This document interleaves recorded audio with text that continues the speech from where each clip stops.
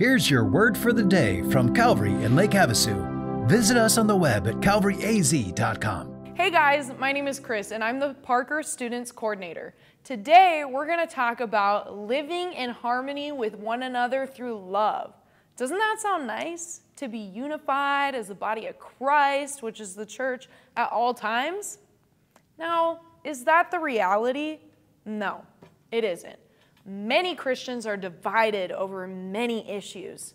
So, this is what Colossians 3:14 through 15 has to say about living in harmony with other believers. And I'm going to read that right from my Bible. Above all, clothe yourselves with love, which binds us all together in perfect harmony. And let the peace that comes from Christ rule in your hearts for as members of one body, you are called to live in peace and always be thankful. So, what this scripture is saying is that we are called to love, and by being clothed in love, we will be able to live with one another in peace and in harmony. If we let Jesus' love and peace rule in our lives, we will be able to be at peace with each other. If we allow hate and opposition against other Christians rule our lives, then there will be strife in the body of Christ.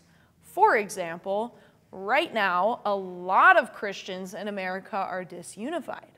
Why? You might already know why, but because they have differing points of view when it comes to politics. Some Democratic and Republican Christians refuse to talk with one another, or to even be friends, or they argue amongst each other. This is not what Jesus wants. Jesus wants us to live in harmony with one another despite our differences. Jesus himself was able to love and die for all of us, no matter our differences or sins. Jesus still loves us regardless. He wants us as believers to reflect his love when we love one another. How can we lead more people to Jesus or focus on strengthening the body of Christ if we're too busy arguing about our differences?